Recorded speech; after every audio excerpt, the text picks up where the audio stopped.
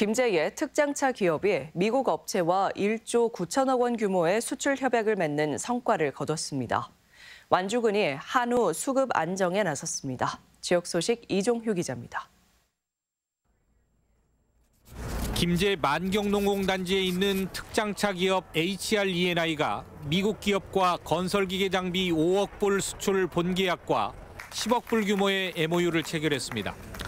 김제시는 미국 라스베가스에서 열린 건설기계 전시회인 콘엑스포에서 특장차 기업 주식회사 HR E&I가 미국 엠니시사와 1조 3천억 규모의 전기구동 핸들러와 자주식 크레인 수출 협약을 체결했다고 밝혔습니다.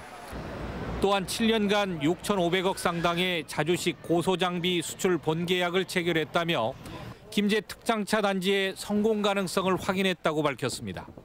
우리 김제시와 HR, ENI 그리고 미국 맥사 간의 이번 수출 업무 협약 체결은 김제 특장차 기업의 경쟁력을 대외적으로 널리 알리며 북미 수출의 기폭제가 될 것입니다. 완주군이 한우 가격 안정화에 도움을 주기 위해 축산단체와 한우 감축에 나섭니다. 완주군은 현재 3만 7천여 두 가운데 2025년까지 7천 두를 감축하겠다며 암소 감축과 소비 촉진, 고향사랑 기부제 답례품으로 한우고기 활용 등을 추진하겠다고 밝혔습니다.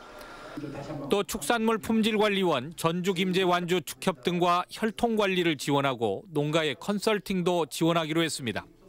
한우 산업을 하는 농가 경영이 장기적으로 어려울 전망인데 군과 유관 기관 그리고 축산 단체가 성공적 추진을 위해 총력을 기울이겠습니다. 고창군이 봄철을 맞아 해경과 어민단체 등과 90포항에서 폐어망 등 해양 쓰레기 20톤을 수거했습니다. 고창군은 올해 해양오염 행위를 감시하는 바다 환경지킴이와 피해 어구를 수매하는 조업중 인양 쓰레기 수매 사업 등 총 6개 사업을 추진할 계획입니다. MBC 뉴스 이종휴입니다.